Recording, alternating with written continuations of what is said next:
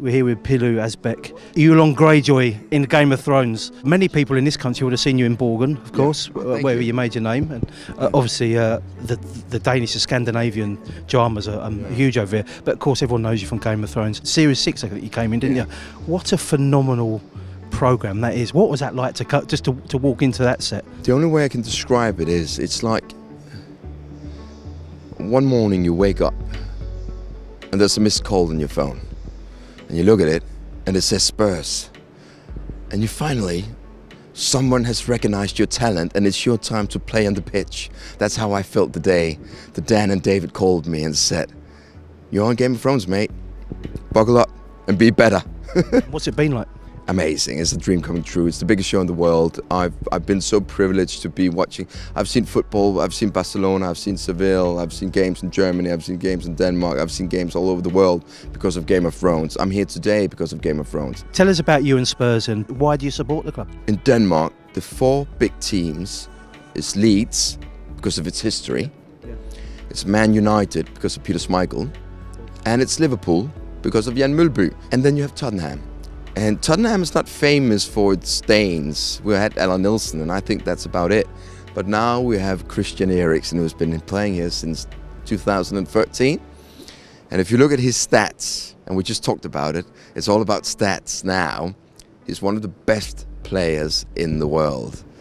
So I think the next generation of Danes are going to love Tottenham like they did in the 70s and 80s with Liverpool in the 90s, with Manchester United and Leeds before that. Tottenham has created something quite unique. The Spurs is creating one of the best offensive lines in, in, in football right now, and it's just amazing. One of the things I really, really love about British football is you have the biggest heart and you want to win. And you can come a very long way with that. Pilou, he's going to do a Game of Thrones slash Spurs quiz. Which player has to put his left boot on first every time before a match? Christian Eriksen. It's Harry Kane. Kit Harington shares his Boxing Day birthday with which member of the Spurs squad? Lloris. Correct. Which Spurs player was born in Middelfart?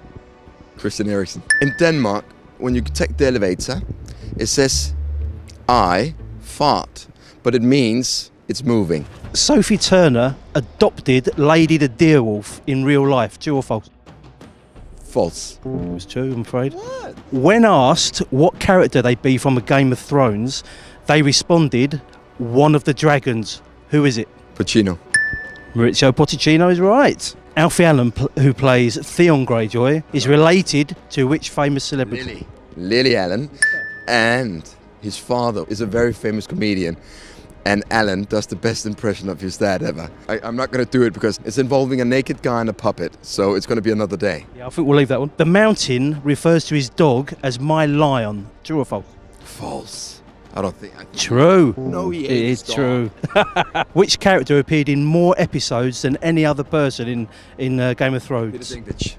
Last question: Which player scored the third goal in our three-one win against Real Madrid here last season?